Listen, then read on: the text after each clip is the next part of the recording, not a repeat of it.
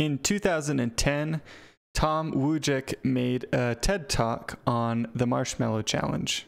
The challenge is really simple. Teams of four have to build the tallest freestanding structure out of 20 sticks of spaghetti, one yard of tape, one yard of string, and one marshmallow. The challenge has two simple rules. One, you have 18 minutes to do it, and two, you have to put the marshmallow on top. Tom implemented this challenge into around 70 workshops with students, lawyers, business graduates, and company leaders. Uh, how did it go?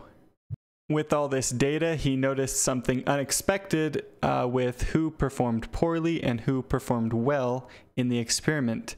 For people that performed poorly, it was recent graduates of business school.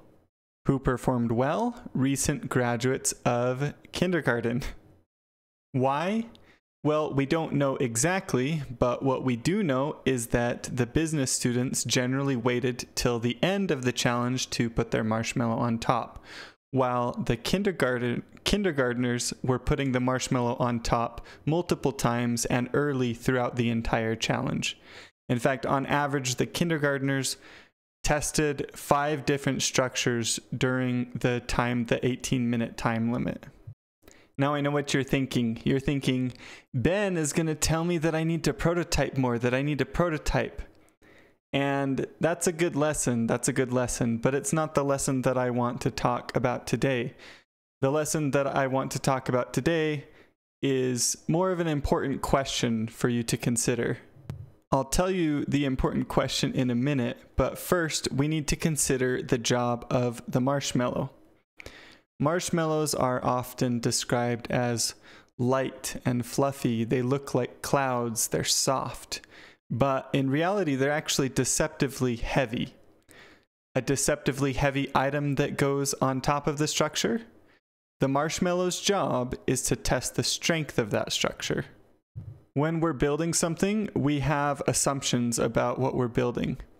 And we generally feel that those assumptions are correct, but in reality, they're usually not. Putting the marshmallow on top is a way for us to test those assumptions and make corrections before it's too late. This brings me to the important question of this video. How can I test the assumptions I have about my game and do it more often? I asked myself this question and realized that I needed to get my game in front of players and to watch them play. This was my marshmallow. Since my last devlog, I've implemented some new icons for spells and uh, the void right there that you can go into and a real-time battle system like this. And I was pretty happy with them. I thought that these systems were pretty good and working rather well. So yesterday I asked a few volunteers to record themselves playing what I currently have and the results were pretty discouraging. While the players loved the pixel art graphics, they loved the spellbook, they loved the orbs, they were often confused with what certain spells were supposed to do, and they were certainly very confused by the real-time battle system. It it was it was not conveyed well in the current build of the game even though this news was discouraging, it wasn't actually very surprising. The point of sending the build to these players, these volunteers, and getting them to record themselves was to get feedback early on and to see what was wrong and make corrections. I put my own marshmallow on top, and this is what I learned. I, I learned that the real time battle system was not going to work. Players were too confused about when stuff was going to happen. I needed to remove that, make that simple, and allow myself to focus specifically on what was happening and conveying that well to the players. I'll be removing the real-time system and making it turn-based. I have some ideas for the icons to make them more clear. There were a couple that actually worked pretty well, the fire spell and the blocking icon, but the others weren't that great.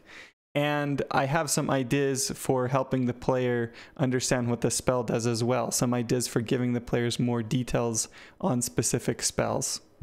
So my spaghetti stick structure has crumbled to the ground under the weight of my marshmallow. But I've learned something from this, and I'm going to continue using this method to test my structure until it stands strong and can withstand the weight of that marshmallow. Now, I want you to ask yourself again the important question How can you test the assumptions you have about your game more often? I'm confident that, I'm confident that as you answer this question honestly and implement a plan to actually execute on your answer, that your game will be better for it. I want to make a quick announcement here. I'm planning on doing a Demonlocke Kickstarter. Now, we're still probably a little ways away from actually launching this Kickstarter, but you can get a following on Kickstarter to uh, notify people when the Kickstarter goes live. So I've got this page here. If you'd like to be notified when the Kickstarter for Demonlocke goes live, you can follow a link in the description and click the notify me on launch. We're currently uh, two followers away from getting that those nice three digits. So I'd really appreciate anyone who can give it a follow. Thanks so much for watching this devlog. If you'd like to support my content, you can check out my Godot course. Uh, Demonlocke is being made in Godot. It's a free and open source engine. You can check out my course, and I will talk to you all later.